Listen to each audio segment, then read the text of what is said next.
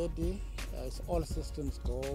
As you know that we've got uh, 69,260 learners who are to write now and uh, 560 centers, which is the highest number ever that we had. And uh, we have prepared all the logistical uh, preparations that are supposed to be there, and we think that we are quite ready.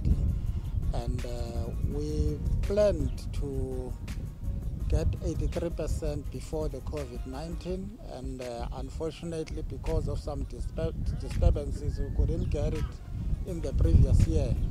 We hope and believe that now we can be able to achieve that 83%, although we want every child to pass, uh, which means ultimately we need 100%. But we think that uh, we have worked, teachers have worked very hard, uh, working together with parents. And all that we want now is for everybody, community, society, to give space to these learners and uh, let's not give them too much course and allow them to study. You are left with eight days. We want to make sure that they maximize the time at home so as they can be able to pass at the end of the year. Hello, my name is Antoinette Mohani from Dwarsloop, Bushbuck Ridge. I'm a final year medical student in Russia, Astrakhan University.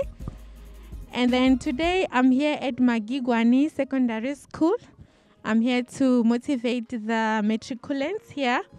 So I would like to encourage the, matricula- the matriculants to study, to study very hard and to be focused.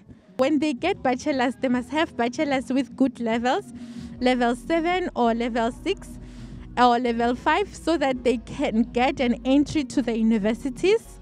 Um, in various universities, either in South Africa or outside South Africa.